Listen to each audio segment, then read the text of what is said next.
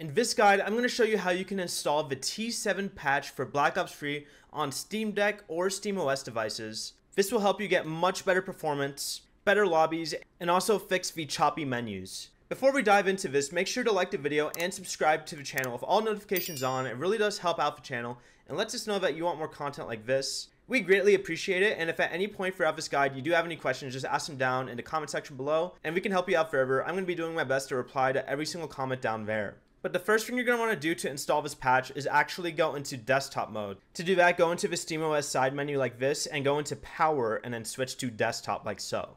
Now I am using a mouse and keyboard for this, but you can also do this with the Steam Deck or SteamOS controls you have set up. As you can see, I'm using a ROG Ally X. It'll obviously work on a Steam Deck as well. This is running SteamOS, but I'm going to go ahead and zoom in so y'all can see a little better too. The first thing you're to want to do is go into your web browser that you're going to use for this. For me, I'm going to use Google Chrome and just click on it like so and type in T7 patch for Black Ops 3 like so. And you'll see this GitHub page at the top. Go ahead and click on this. And it'll load into this menu right here. It'll come with its own directions and I would honestly follow this as well as watching this video for better instructions. But from here, you're going to want to hit the 2.04 release tab over here. Scroll down a little bit and you're going to see the T7 patch for Linux, Steam Deck, and manual Windows install right here. Click on this to download it and save into your downloads folder.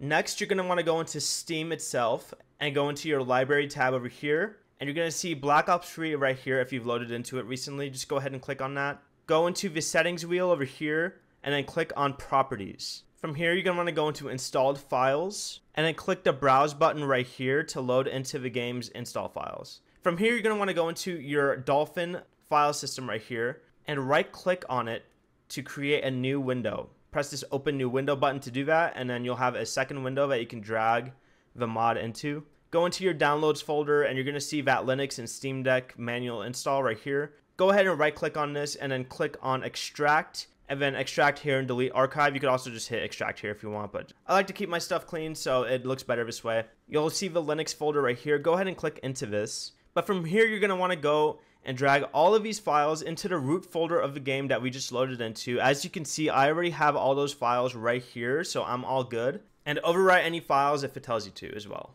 But once you do this, what I would do is go into this T7 patch config folder and go ahead and double click on this. But here you can change your player name as well as a password that you can set for your server. I would go ahead and set these and you can have your friends join your lobbies much easier this way as long as they have the same password as you. But once you have those settings set up, just go ahead and hit File and Save in order to keep that locked in. From here, you can go ahead and close out all of these tabs just to clean up your desktop a little bit. And once you're done with that, you can go ahead and return to gaming mode as well. And once you're back in gaming mode, you can go ahead and click on Black Ops 3 and hit play. And this is so you can see if the patch has worked. To confirm this, just wait for the game to load. And as you can see in the top right, it says patch by Serious in the top right, which means that the patch has worked and that you are done with this. And that is it. You will now have much smoother menus and FPS throughout your games, smoother lobbies, and better mod support as well. If this helped you get the T7 patch installed correctly on your Steam Deck or other SteamOS devices, make sure to like the video and subscribe to the channel with all notifications on.